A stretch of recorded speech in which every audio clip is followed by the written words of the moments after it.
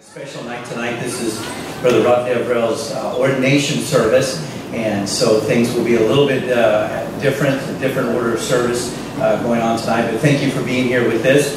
And uh, right before the service, I received this text, and I was asked to read this. And so this is uh, for Brother Rob. It says, "The Solid Rock Baptist Church is so very proud of Brother Rob Deverell. We are so thrilled that he's being ordained tonight, and wish that he, that we could be there." He and Anna are wonderful servants of the Lord. May God bless them as they continue to minister for the Lord. Our church will be purchasing a new suit and shoes.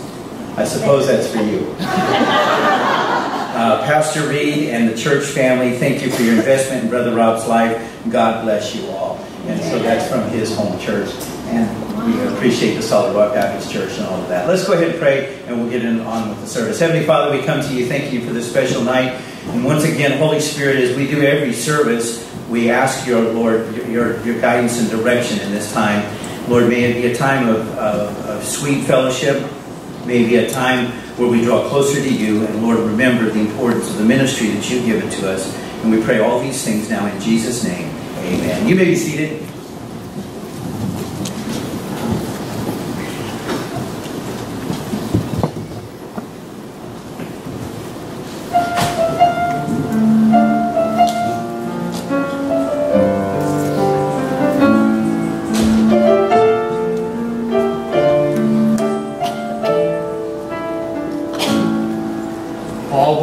Weary on his journey, his body frail and weak.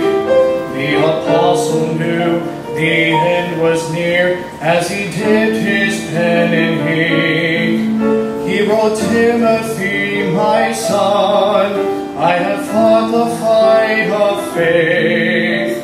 Carry on what I've begun, but most of all I